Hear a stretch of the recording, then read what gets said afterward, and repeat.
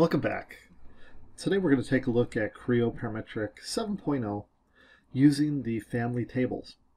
And so with this, what's neat about Creo is that you have the ability to make changes and have it update automatically. But what if you had like thousands or hundreds or even just a few parts that you wanted to have updated using like an Excel spreadsheet, something like that, to where you could actually input some numbers that you'd want to change. Example being, here we have uh, what was exercise three from the intro class.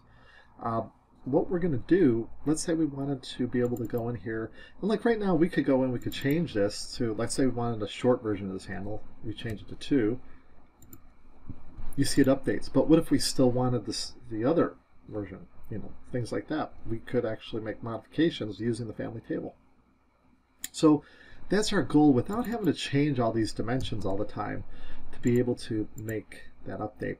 Now what you have to be careful of though, like um, we're going to use these actual dimensions that you see here in a table that's very similar to what Excel is. And you could actually use Excel too. Um, and we'll enter these numbers in and then see what happens. There is a verification tool in there that will check it for us automatically, but you might want to do some checks up front. Like for example, this say we want a short handle that's going to be two inches like we just saw there. We also want one that has a short neck. So instead of 3.75, let's um, make a change here. So let me change that datum. And let's say we wanted it to be two inches. Hit enter. And see, there we have a problem. It doesn't connect anymore. In fact, if you have an older version of Creo, you would get an error message right now typically because this version of version 7 actually enables you to have multiple body support. See, there's two separate bodies there. Earlier versions, it would error out, couldn't do that. So it's kind of a neat enhancement they've added. But let's go back to 4 there. So it's a modeling issue, the way it was uh, assembled. And this is design intent. And we talked about this from day one in short little bursts. Let's see how we could fix this. So we're going to first fix this, and then we're going to go ahead and drop it in family table. So that um, handle there, click on the extrude 6, and go ahead and edit the definition. Uh, actually, hit the little arrow to the left of it, find the sketch, and edit that. Now over here we see there's a dimension 3.75. Let's see if we could click on that and delete that. Okay, it's a weak dimension. But now we have to reference to this left edge. So if we go to the dimension tool, you'll see if you click on this edge, that's fine. And let's have it reference to this edge, and then middle click. And there we can actually see, um, we can put in a dimension.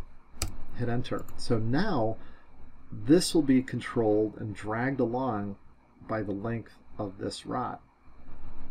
So hit OK. Now if that happens to you, uh, or if it, I should say if it, if it unsuccessfully gives, gives, you a message that it can't do it, sometimes you have to delete the entire handle in this case. I mean, you could keep the other features and just redraw it and then re-add it because sometimes an, I've gotten messages before where it says it's not able to handle or add uh, additional features like that. Okay, especially if there's dependencies. In this case, the dependencies were all blown away, so it's fine. Now, in theory, if we change that, so we find datum1, and edit the dimension there. Let's change it to 2 and see if this works. Now it worked. Success. Change it back. All right, now we could go to Tools, Family Table. And over here, we're going to go right over here to the Insert New Instance. One, two, three, four. Now the, the last instance is going to be the short neck underscore neck. So type that in. Forgot the S. All right, in the instance 2 down here, go ahead and click on that and drag over it. And let's change it to E3 short underscore handle. And now this first instance will be the machined version and this will be pre underscore machine. All right, what does all that mean? Let's go ahead now and click on add delete table columns.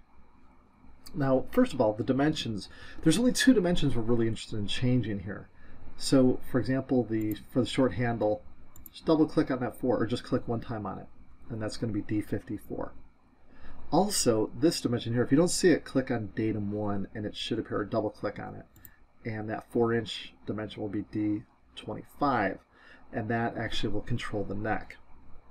Now, over here we have, under add items, let's go to features.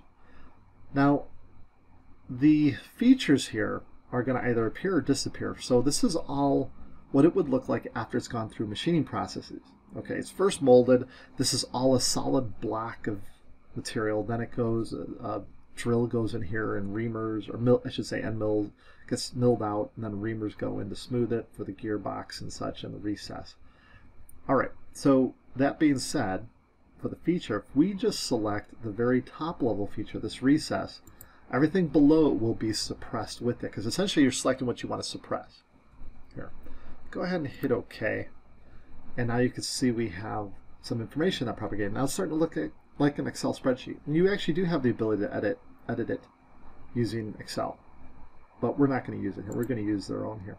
So the pre-machine, it's going to stay the same size, 4 inches for the handle, 4 inches for the neck.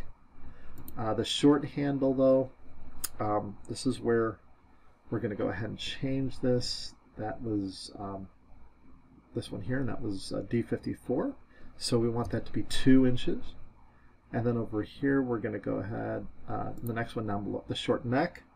This will be 2. Now, let's click over here. So pre-machine is going to be 4 inches. There's no change there. Post-machine, 4. The short handle now, this will be um, 2. Uh, actually, we'll keep that at 4. The short handle will be actually 4. Now the short neck will be will be 2. And we could keep the short neck and the short handle, handle the same, or we could make a new instance if we wanted to that separates them or combines them. We're going to combine them for the very short neck. So technically, the short neck will be short neck and handle. So oh, I'll actually put that in there. All right, now we could verify. Now this is what I was telling you about to see if it errors out. You could hit verify. Oh, I'm sorry. That's not it. Uh, right here. And see it's unverified. When you hit verified, it will actually tell you if there's any errors that occur. So it's really pretty neat. Imagine if you had a thousand parts. You, you would have to go through and ch check them individually. Not here. This checks them. Very neat little feature. Okay. Now, um, so with that being said, I forgot to put in the, the features here. So the pre-machine um, is going to be no and here you could actually see yes or no. Now the um, the machine will be yes, short handle yes, and the short neck will be yes. So that means that cutout here will be there. Only in pre-machine, like it's right out of the mold, is it going to disappear. So you can basically suppress or unsuppress features. Never delete a feature. Always use this tool. Now we can verify again success. All right, let's hit OK. Now, how does this work? Well, first of all, let's go to File. Then we're going to do a Save As a Copy. And we'll go ahead and call this the new file name E16 because it's no longer E3. And we'll drop it on the desktop. OK. And OK.